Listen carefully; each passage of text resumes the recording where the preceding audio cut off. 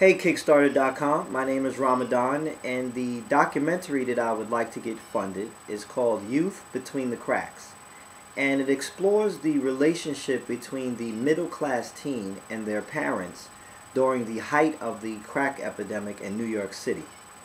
Uh, I think this documentary is important because this generation is the creators of hip hop and the middle class specifically was a part of the mainstreaming of hip hop and helped to, you know, bring hip hop to a worldwide level.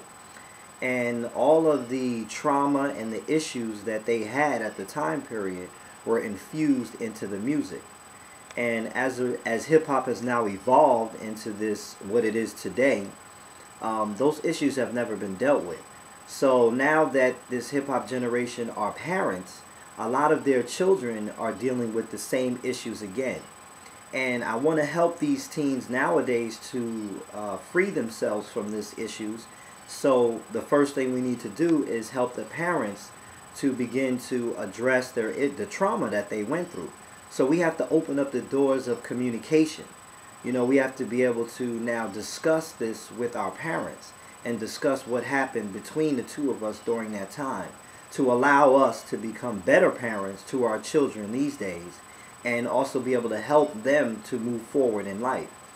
Um, so if we want to help clean up hip hop, if we want to help hip hop to evolve into an, a respectable culture, not just this, you know, sleazy strip club, you know, make it rain kind of mentality.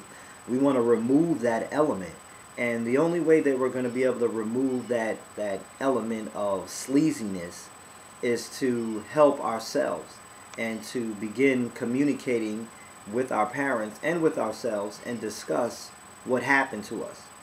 And I think this documentary is going to be the beginning of that and the beginning of opening doors of communication through all cultures.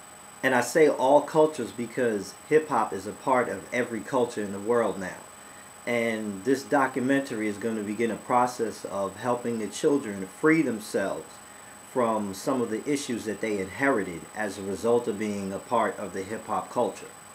So Kickstarter.com, I need to get this project funded immediately so we can start this process. So help me out.